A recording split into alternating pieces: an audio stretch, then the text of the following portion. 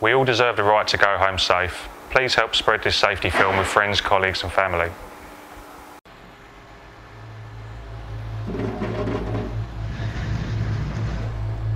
Accidents.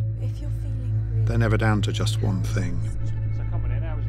That's why most days people get away with it. They forget the rules. But there's no danger just then. Or they don't look out, but someone else is vigilant.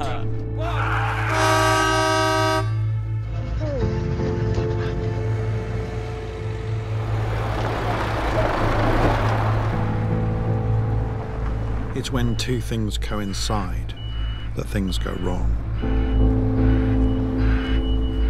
When the danger's there, but goes unnoticed. Oh, it's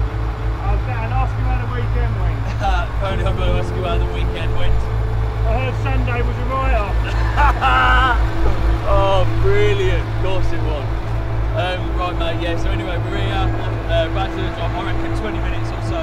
All right, mate. Whoa, whoa, whoa, whoa!